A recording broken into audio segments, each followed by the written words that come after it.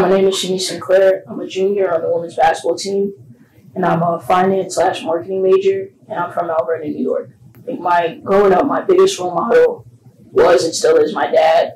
He's taught me everything that I know, um, from the smallest little details to what it means to be black in America.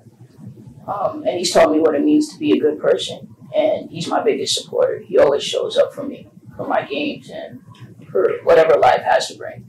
Black History Month means a lot of different things to me, just from the whole history of it to the people and what they've done, you know, in the past to where we are now.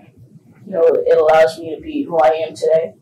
Um, and talking back towards my dad, you know, he's taught me a lot about Black History Month, about what people have done and the present moment now and where we are now and how, you know, that affects place that we are in. And in terms of sports, you know, we've come a long way. And I think that's very important for everyone to learn about history about the people you look up to, your role models, and how that affects and shapes who you are now.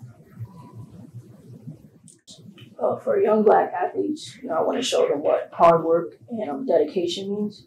I want them to look at me and see that if I can do something, they can do it too.